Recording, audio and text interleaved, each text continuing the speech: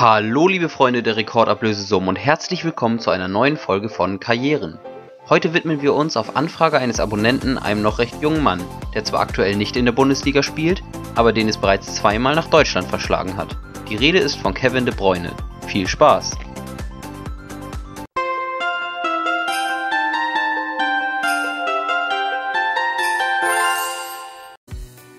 Am 28. Juni 1991 erblickt Kevin de Bruyne im flämischen Drongen, einer Teilgemeinde der belgischen Großstadt Gent, das Licht der Welt. Schon früh in seiner Kindheit fällt den Jugendtrainern des jungen de Bruyne seine technische Finesse auf, die sich insbesondere dadurch äußert, dass der kleine Kevin, anders als seine jungen Mitspieler, mit dem rechten wie linken Fuß abschließen kann und stundenlang an seiner Schusstechnik feilt. Sein unbändiger Ehrgeiz und Trainingswille verschaffen de Bruyne zunächst einen Platz in den Jugendmannschaften des KAA Gent und schließlich einen Wechsel zum KRC Genk, wo er am 9. Mai 2009 im Alter von 18 Jahren in der höchsten nationalen Herrenspielklasse, der Jupiler Pro League, bei einer 0:3 Heimniederlage gegen Sporting Charleroi debütieren darf. Seinen zweiten Profieinsatz zum Ausklang der Spielzeit 2008/2009 feiert der Mittelfeldmann am letzten Ligaspieltag gegen den RSC Anderlecht dass er zu Beginn seiner ersten kompletten Saison als Lizenzspieler für den belgischen Topklub bereits in den wichtigen Playoff-Spielen zur Europa-League-Gruppenphase auf internationaler Ebene spielen darf, ist keineswegs der dünnen Personaldecke der Genker geschuldet.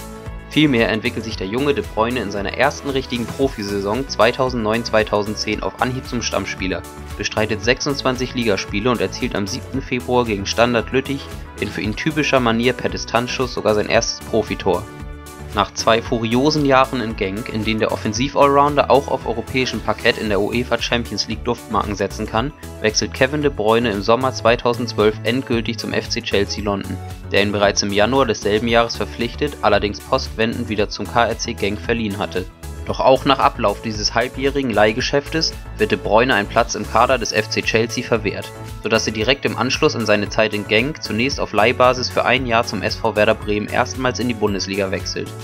Dort hinterlässt er einen starken Eindruck, markiert in 33 Ligaspielen 10 Treffer sowie 9 Assists und bleibt wohl auch dem damaligen Werder-Manager Klaus Allofs im Gedächtnis, der sich bei seiner damaligen Station noch nicht mit den finanziellen Mitteln ausgestattet sieht, das Talent fest zu verpflichten dieses Vorhaben gelingt Allos dafür 18 Monate nach dem Bruynes Abgang aus Bremen.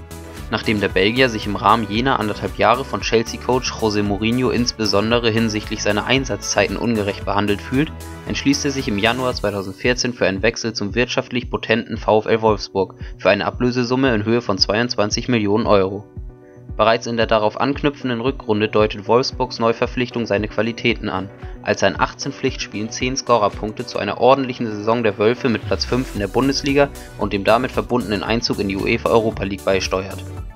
In der Sommerpause 2014 bestreitet De Bruyne bei der WM in Brasilien sein erstes internationales Turnier für Belgien. In der Gruppenphase kommt er in zwei Spielen zum Einsatz. Das Achtelfinale entscheidet er beinahe im Alleingang indem er in der Verlängerung beim 2:1-Sieg über die USA ein Tor selbst erzielt und das zweite vorbereitet. Nach dem Viertelfinale, das Belgien und De Bruyne mit 0:1 gegen den späteren Vize-Weltmeister Argentinien verlieren, ist für den 23-Jährigen das Turnier beendet. Explodieren soll er dann in der darauffolgenden Spielzeit, welche gleichbedeutend seine einzige komplette Runde für den VfL ist. Nach einem holprigen Saisonstart mit nur zwei Punkten aus den ersten drei Bundesligaspielen sowie einer ernüchternden 1:4-Schlappe beim Europa-League-Auftakt gegen den FC Everton beginnen die Wölfe unter der Regie des jungen Belgiers einen beeindruckenden Durchmarsch bis auf den zweiten Tabellenplatz, den sie vom 10. Spieltag an nicht mehr hergeben.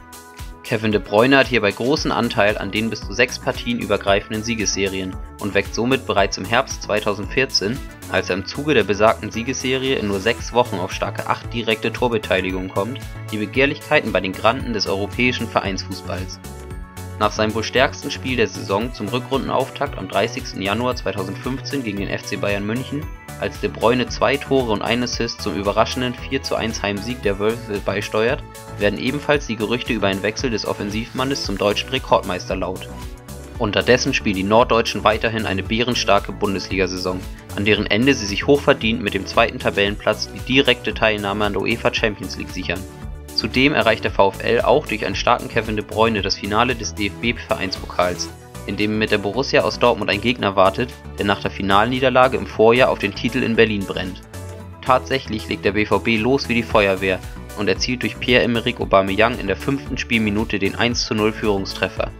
Dass die Wölfe diesen Rückstand innerhalb der ersten Halbzeit nicht nur egalisieren, sondern gar zum 3:1 Endstand umdrehen können, liegt auch an einer abermalig starken Vorstellung Kevin De Bruynes samt des Treffers zum zwischenzeitlichen 2:1. Für De Bruyne ist es nach der belgischen Meisterschaft der zweite Titel in seiner Profilaufbahn. Zu Beginn der Saison 2015/16 soll gleich der dritte im Duell mit dem deutschen Meister, dem FC Bayern München um den DFL-Supercup folgen. In einem von Bayern weitgehend kontrollierten Spiel ist es die Vorlage des Belgiers auf Stürmer Niklas Bendtner, die kurz vor Ende der 90 Minuten die 1:0-Führung der Bayern ausgleicht. Das unmittelbar daran anschließende Elfmeterschießen kann der VfL, auch weil De Bruyne sicher verwandelt, für sich entscheiden und holt binnen weniger Wochen den zweiten nationalen Titel. In der Folge entwickelt sich besonders im August 2015 ein heftiges Tauziehen um den Offensiv-Allrounder, an welchem sich mehrere internationale Spitzenvereine, aber auch der bereits genannte deutsche Interessent der FC Bayern beteiligt. Angeblich kommt es sogar bis kurz vor Ende des Sommertransferfensters zu einer Einigung zwischen dem Berater des Belgiers und dem Rekordmeister. Die Bayern allerdings weigern sich, den hohen Ablöseforderungen des VfL Wolfsburg nachzukommen, sodass Kevin De Bruyne schließlich am vorletzten Tag des Transferzeitraumes, dem 30. August 2015, für die Rekordablösesumme in Höhe von 74 Millionen Euro aus der Autostadt auf die Insel zu Manchester City wechselt.